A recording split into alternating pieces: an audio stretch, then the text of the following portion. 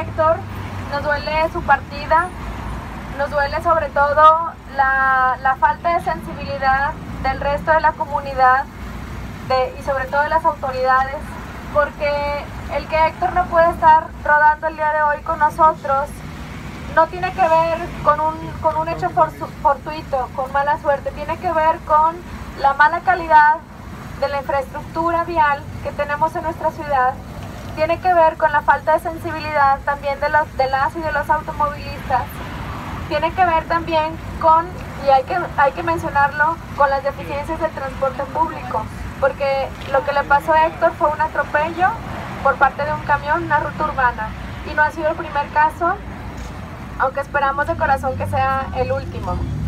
Eh, el día de hoy queremos mostrar nuestra solidaridad con la familia de Héctor que están aquí presentes, que para nosotros es bastante significativo que sepan que somos una sola familia.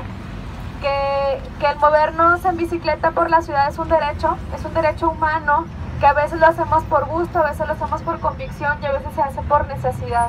Entonces, todas las personas que vivimos en Monterrey tenemos el derecho de poder transportarnos y hacer nuestras actividades con dignidad y con seguridad. Entonces, hoy hemos colocado una bicicleta en nombre de Héctor, pero lo hacemos en nombre de todas las personas, no solo ciclistas, de las personas que caminan, de las personas que se mueven también en coche, porque también las personas que se mueven en coche corren un alto riesgo de morir, como, como esta vez ha sucedido en la colonia Topo Chico. Eh, el tema de la bicicleta blanca no es algo que surge aquí en Monterrey, es un movimiento a nivel internacional, lo cual también nos dice que no estamos solos, que no estamos solas las personas de esta ciudad, sino que cada vez hay una mayor cultura vial. Entonces, si bien nos une un momento de tristeza, un momento solemne, nos dice también que hay esperanza y que es importante que sigamos pedaleando, que quienes hemos salido a las calles lo sigamos haciendo y sigamos llamando a más personas a que se unan, porque paulatinamente esto tiene que cambiar.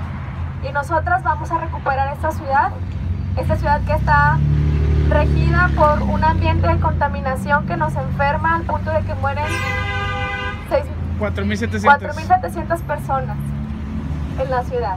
Entonces, sí estamos tristes, estamos indignadas, pero sobre todo valerosas y confiadas de que vamos a lograr que Monterrey paulatinamente sea una ciudad más humana.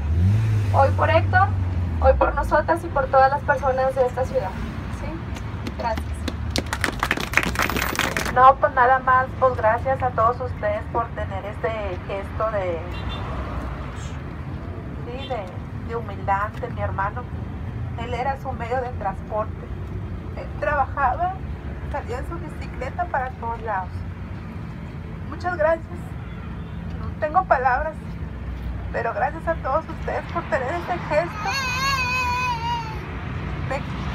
Me, da coraje a veces de que mejor ustedes de la empresa, ¿verdad? Que el, camión que tuvo el accidente, que causó el accidente, este, ni siquiera se ha acercado a la familia, pedirte siquiera una disculpa o algo, para nada. Por eso me da sentimiento con ustedes, que mejor ustedes el señor Juan este, hablándome, diciéndome qué día y que ya estamos puestos y que esto el otro.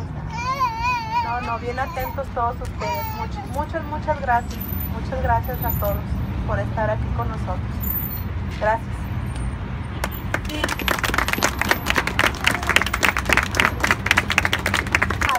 Las calles